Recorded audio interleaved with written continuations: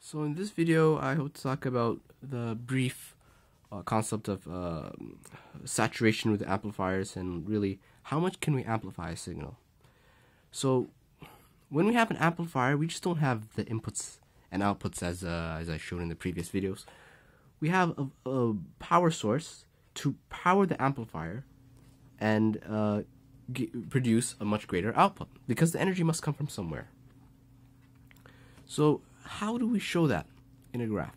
So wh what I'm going to have over here is an input voltage that's positive, that with respect to zero will bump it up by V amount. And the, the negative side will then be grounded, but being pulled down by V amount.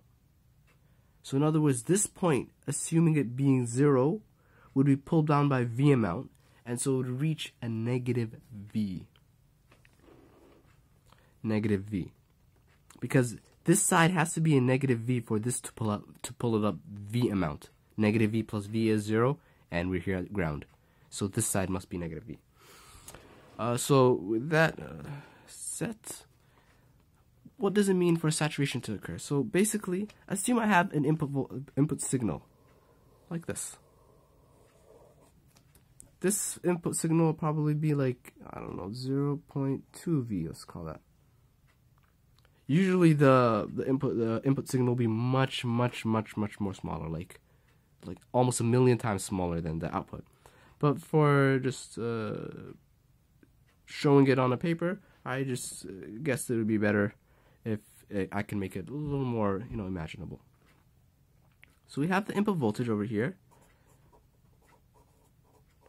I have input voltage over here.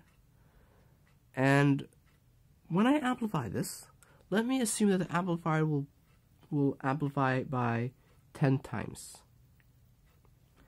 So if I amplify this 0.2V by 10 times, I'm going to have 20, uh, sorry, 2V.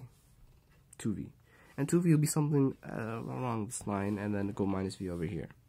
So how will the amplify how will the amplifier produce the output? It's simply going to do as much as it can to amplify the signal until it can't do any more. And then it's going to come back down. And I, although it's supposed to have gone all the way up here, this thing doesn't happen.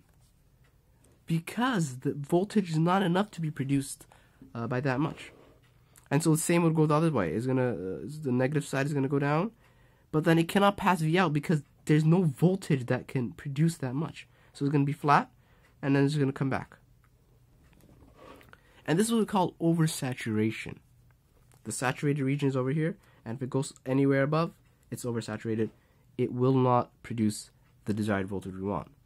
So really, if let's say this was not just 20, let's say it's 200 times, then what we're really having is an amplifier stuck at the maximum V plus and then jumps to V minus and then V plus, more like a square wave.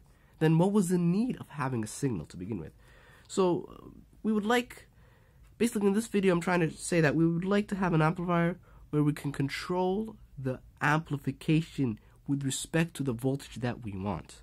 And hopefully in the next video when we discuss op amps, is going to make a lot more sense.